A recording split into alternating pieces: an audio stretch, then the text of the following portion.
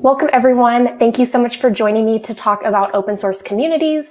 I'm really excited to dive into ambassador and contributor programs with you today. So let me start off by introducing myself. My name is Kaitlyn Barnard and I work in developer and community marketing for open source, currently at Kong. For those of you who might not be familiar with Kong, um, we help manage all of your APIs and microservices through our open source API gateway, API testing, and service mesh solutions.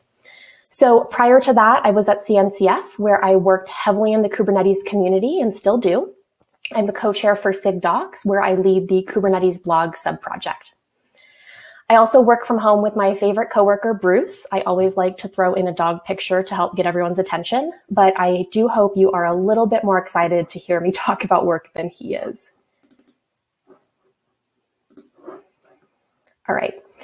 So today I'm going to be talking to you about the basics of building an ambassador program and a contributor pipeline from scratch.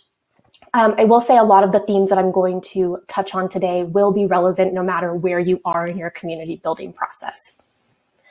So when it comes to community building, I very much believe that there is no one size fits all solution. So today, a lot of what I'm going to be talking about is my personal approach to community building based on two examples of ambassador programs that I've run, Cloud Native Ambassadors and Kong Champions. So Cloud Native Ambassadors is CNCF's program. It's currently at 106 ambassadors. The first time I did the talk, it was actually at 50 ambassadors. So I'm going to be referencing um, examples from the earlier days of the program. I also find that um, oftentimes this example can be a little bit intimidating for people who are just getting started with these programs because CNCF has experienced hyper growth over the past few years. Um, and they have a pipeline of contributors from 19 projects now. So I'm also going to compare that to a newer program that I'm working on now, which is Kong Champions. So we started this in May 2019 and are currently at nine champions across five countries.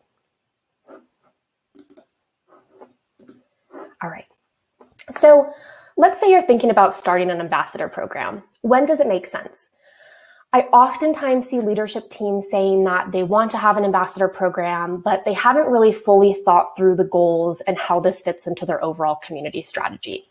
And that's a really difficult position to be put in as a community manager to have to manage those expectations, especially when it might not be the right fit for your business or your community at, the, at this time. So there's two indicators that I like to look at before I um, try to start one. The first is a clear path to contribution. So your um, contributor pipeline has to be really healthy before that can feed into your ambassador pipeline because most of the time this is the these are the candidates you're going to be pulling from. So you really can't have active ambassadors until you have active contributors or users. And then the second is, do you have internal buy-in to support the program? Ambassadors require a huge amount of support and resources from you internally to make them effective. And is your organization willing to support that? do they understand the value of the program? And then at the end of the day, do they care about supporting the community in that way? So I'm going to dive into both these indicators further, but I do want to first start talking about goal setting for the programs because this is going to affect internal buy-in as well. All right. So setting goals for the program is the number one thing I like to do because it one ensures that it fits into our strategy. And then two, it helps get buy-in because that is what our entire team is then agreeing to work towards. So these can definitely differ between communities, but for me, it's almost always these four. One, we want our ambassadors out in the community creating awareness for what the technology is. Two, we want them educating the local and global community on how to use the technology. Three, we want them helping to expand that contributor pipeline that we talked about by sharing their journey and helping others get started. And four, we also want them to grow personally and professionally by being part of our community because at its core, this program really should be rewarding to them. Okay, so now that we talked about high level goals for an ambassador program, I want to take a step back and dive into that first indicator that I mentioned, which was your contributor pipeline. So Contributor pipeline is a huge factor in the health of your open source community to begin with, um, but it's also really difficult to build an ambassador program until this is done really well. So let's dive into how to build an uh, effective contributor pipeline. The key tenet in a lot of the things that I'm going to mention here is really having a clear and accessible contributor documentation. So this starts with your contributor guide. This should really outline the ways for contributors to get involved and then what the entire contributor process looks like from start to finish. The contributor's guide should also include a clear um, review process because the worst experience for a contributor is they do all the hard work of contributing something and then their issue or PR gets stuck in limbo for months with no answer. So the review process should be clearly documented, straightforward. They should understand when to get a response to their um, contribution, and then know who to ask for if they don't. Um, there should also be a place for contributors to get help and ask questions if they need it. So this is something like a Slack channel or weekly office hours where they have that open line of communication to other contributors and maintainers of the project as well. And then finally, it's really important to make sure this is all in a central location, in my opinion, um, something like GitHub, Confluence, whatever your central community hub is. Um, there should be that one-stop shop where any new or existing contributor can go to get that information. So once we have our documentation, let's talk a little bit about how to get new contributors into the project. And there's two pieces I want to talk about here. Um, so the first is overall project awareness. And this is where someone typically like myself in developer marketing comes in, um, or individuals in DevRel can help with this. Um, and it's how to market your project to get more awareness. The project is most likely solving a problem in some way, so we tend to share that information through things like thought leadership, tutorials, partner webinars, meetups, conferences and speaking, stuff like that. Basically, anything you would do to get a user is a great way to get contributors as well. And then partnering with relevant open source communities. So is your project written in Go, for example? You can target Go developers. What, whatever relevant technologies you're leveraging, embrace those communities. Um, and just to be clear, this isn't meant to sound like poaching uh, contributors from another project, um, but more so expanding opportunities for them to get involved with other relevant technologies in the ecosystem. And they should also be tech, uh, communities that you're contributing back to. So for example, our engineering team at Kong contributes back to the projects that Kong is built on top of like Lua and OpenResty. But we do also get a lot of contributors for those from those communities as well, because it's a shared technology that it's built on. Um, and then the final piece here is recognition, but I want to get to that on the next slide.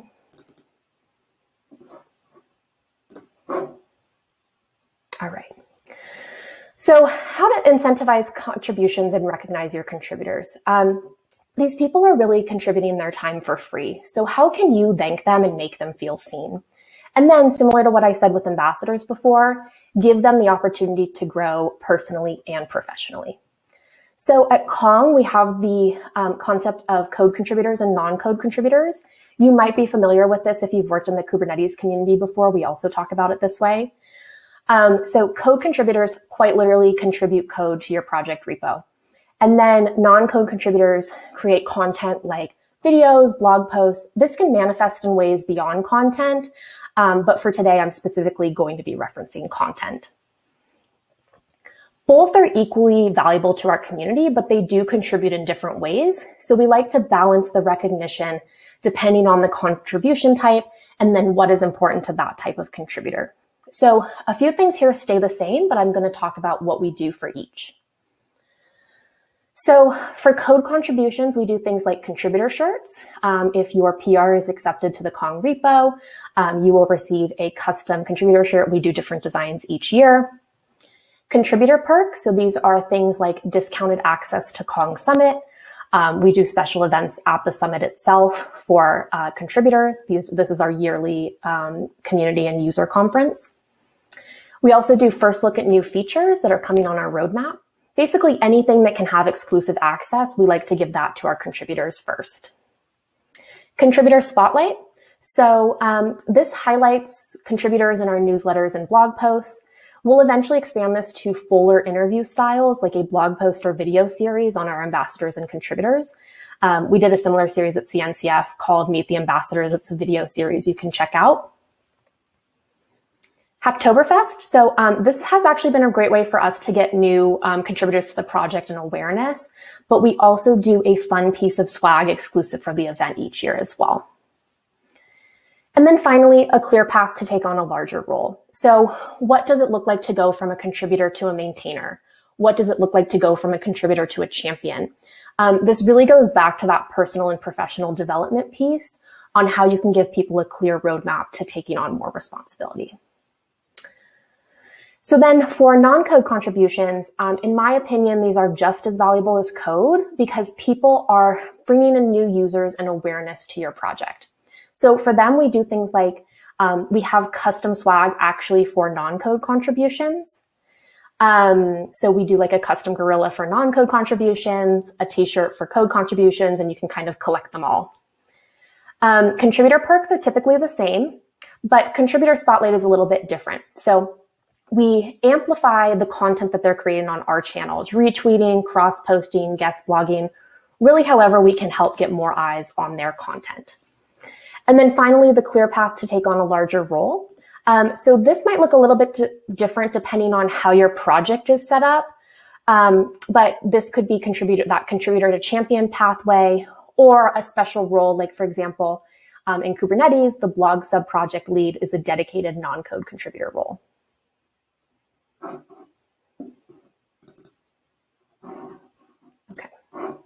So now that we've got our goals, um, we've got our contributor pipeline. How do we start building our ambassador program? And there's four initial things that I like to do here. The first is reaching out to those people in your contributor pipeline. So not only are they your potential ambassadors, but you can find out what they would want out of an ambassador program and build around that. So for CNCF, we started with people already doing these things on their own and established in the community. For example, hosting Kubernetes meetups, and then built the program around that. For Kong, um, we started with our most active contributors and users of the project, and then built around them. The second thing is do your research. So what are the communities exist in the space? What's working for them? What isn't? How can you differentiate? Because a lot of people are part of multiple communities and you don't want to have an exact replica of the same program somebody is already in. But you also don't necessarily need to reinvent the wheel um, for your program either. Third is establishing the value of being part of the community. So what value are you providing that those other programs don't? This isn't the ambassador's full-time job. So it's really important to clearly communicate what exactly it is that they're getting out of it. And then fourth, figure out how you're going to promote your program and get new ambassadors into it. So we already talked about contributor pipeline, um, but I also want to expand on that a little bit more. And that's to say to reach out to people directly. Um, it's a really great way to um, reach out to people who are beyond just your GitHub contributors that you know. So for example, we reach out to those users who have written blog posts on us or people who we meet at conferences who we think might be a good fit. Um, people really like to feel special and invited, so it doesn't hurt to ask them because worst case scenario, they say no. And at the end of the day, it might provide some really useful feedback on how you can make your program more compelling as well.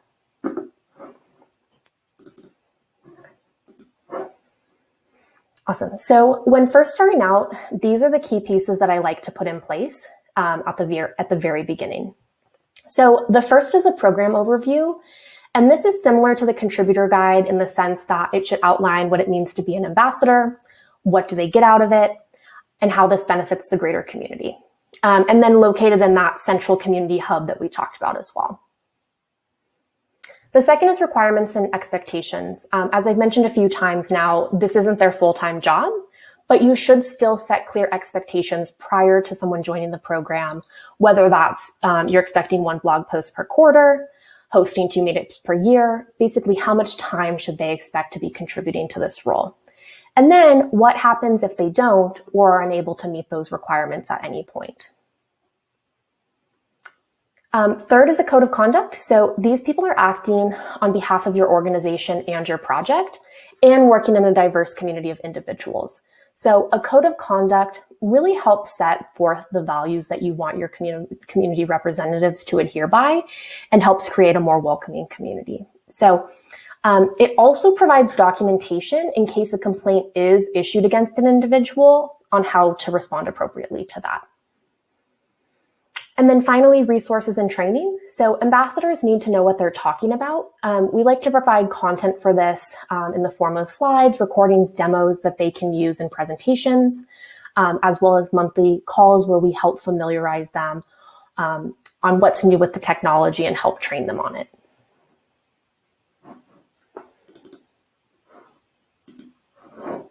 All right. So then there's some additional elements in the day-to-day management of the community. I'm going to talk through these a little bit more high level today than I typically do, but I'm happy to dive into um, these further if anybody is interested after this talk. So first is the application barrier, or sorry, the application process. Um, and what we typically do with this is figure out the lowest barrier to entry. So for us, it's a Google form. Um, but keep in mind, um, that can't be accessed everywhere. And if that is the case for the tool that you choose, make sure that there's an alternative process in countries where this might be blocked. Um, so after that, then it's time to set up some review sessions with the decision-making committee and decide a couple of things. So how many applicants can you reasonably accept into the program um, based on resource and budgetary constraints? What are the admissions periods going to be for your ambassadors? and then what qualifies someone for acceptance. Because having these clear review cycles and requirements with status updates um, help set ex- help set up expectations for the community, um, and then they know when to accept a response and what a reasonable um, acceptance period looks like.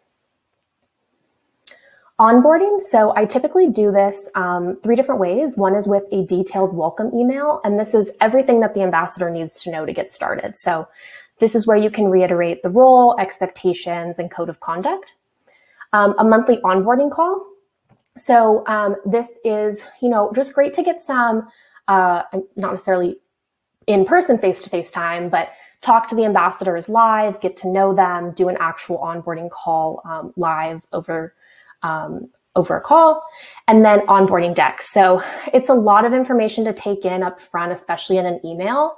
So I like to also reiterate this in an onboarding deck so ambassadors can go back and reference that at any point. Um, monthly on monthly ambassador meetings. So for CNCF, um, we used to do these as exclusive for ambassadors, where they're a mixture of project updates as well as knowledge share. So example, um, a couple of ambassadors can come on and share meetup best practices. For Kong, we do them a little bit differently. Um, they are not specific to Kong champions, but they are actually for the whole community. We do them one of two ways. So it's either a demo from community members on open source technologies outside of Kong, or a Kong project update with demos from our engineering team um, and sneak peeks on upcoming releases. We're also working in a global community, so I like to make sure that we have clear channels for communication. Um, they're not just for updates specifically, but also so ambassadors can connect with each other as well. Um, so things like private and public Slack channels, an email alias, a GitHub repo for info that requires more transparency and accountability within the community, and then discourse for things like evergreen questions that impact other users as well. Um, and then finally, special perks and benefits of the program. We talked a lot about incentivizing your contributor pipeline, but I'm also always thinking of ways to remind our ambassadors that we really appreciate what they're doing for the community. So this is things like ambassador swag. We make sure ambassadors have um, custom swag for all the events that we're at. At CNCF, we used to do front row keynote seating for ambassadors, um, face-to-face meetups anytime we are at an in-person event, things like a happy hour or breakfast to give them that VIP experience whenever we're face to face. Um, at CNCF, we had free access to exams and workshops, so ambassadors can take the CKA and CKAD exams at no cost to them. And then meetup reimbursements and sponsorships if that's something within your budget. So I'm sure this list will continue to grow, but this is just a snapshot of some of the ideas of more tangible perks of these programs. So finally, I want to talk a little bit about measuring success because at the end of the day, what the higher ups care about are um, what the business impact of the program is. So the problem with that is oftentimes developer advocacy and ambassador programs can be really hard to communicate the, the impact of. So I like to specifically measure the impact of each program. Um, another thing I see, it's, it's oftentimes really easy to measure output. For example, the number of blog posts put out by an ambassador. Um, but I personally prefer to measure quality over quantity. So a few examples of this are um, the growth of the number of ambassador applications, and then how many of those are converting to actual ambassadors. Number of unique blog post views on content written by ambassadors. So basically, how many individuals are you reaching with that piece of content? Meetup attendance, I like to do this almost as a CPM model, for example. So how much did it cost to get in front of X number of people? Um, which kind of math wise looks like the cost to send the ambassador there divided by the number of people who attended. Um, I also like to set a baseline with this compared to other events like trade shows. You probably have this number for trade shows as well already. And then finally, downloads. Um, this is really my ideal way to measure if you do have a setup in place to attribute your marketing efforts to downloads, um, your marketing or community efforts. But this is really difficult to do um, in open source, I know. All right, so with that, that's all I have for today. Um, I know this is a lot of content to go through in the last 20 minutes, um, so I'll make sure um, to put the slides up later with more details after this, but um, we have a few minutes left now if anyone has questions. All right, so we have in one in here, um, this is a great question. So how effective has Hacktoberfest been to getting permanent contributors? And um, this, I will say, we definitely have a spike in contributors um, during Hacktoberfest. And I don't know the exact numbers off the top of my head, but um, you know, not all of those are going to stay around as permanent contributors for sure. Um, but happy to look into what the actual number is on that for you. Awesome. Um, so another one in here is recommended tools for measuring success. Um, so my advice here is actually use whatever you have in place already. Um, uh, you know, assuming you might already have things like Google Analytics, um, some type of social media management tool. Um, I try to keep it really, you know, just really in line with what other members of my team are using. So we're kind of speaking the same language.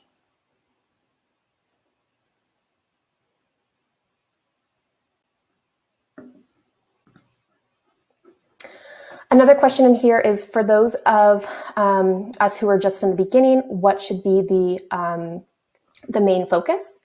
So um, in my opinion, what that should be is figuring out, you know, kind of who your star contributors contributors are already. Um, so who are the people in your community that you want to build this program around? Um, and sorry, I'm making the assumption here um, about ambassador programs. Um, and then also researching the other programs out there. So what are the, you know, um, are there relevant technologies in your space that already have an ambassador program? Um, how can you kind of differentiate and expand on that?